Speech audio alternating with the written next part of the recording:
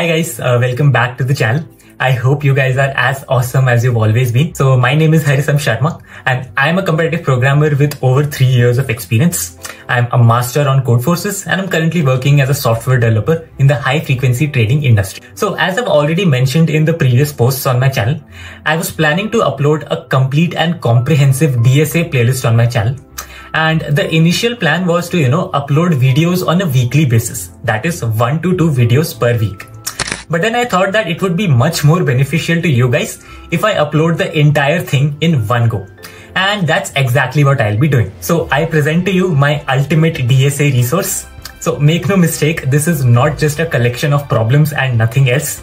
This is a complete and comprehensive list of 20 plus live lectures, all taken up by me and all around 1.5 hours long. Now, the best part about this sheet and the best part about all the lectures is that all of these are live lectures.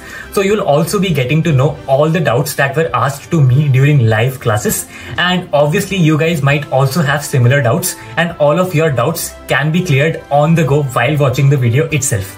Also, each lecture is followed up by a lot of practice problems. And also for each lecture, there is a dedicated problem solving session which was taken up by my friend and my ICPC teammate Ariman.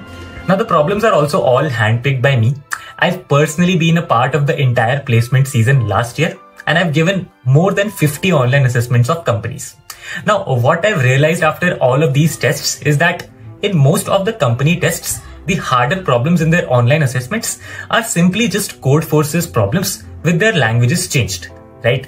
And Basically, I was able to make this observation because I myself have solved over 2500 Codeforces problems in a span of the last two years. The entire course content as well as the problems are selected keeping in mind the type of problems that are asked in company online assessments as well as in interviews. Alright. So you can find the link to the sheet in the description. It is the ultimate resource for your DSA preparation. The sheet contains the links to all the live classes it contains the links to all the problem solving sessions as well as all the practice problems. Now it goes without saying that this entire course, this entire resource is free of cost, right? So if you want to pay me back, you can just feel free to subscribe to my channel.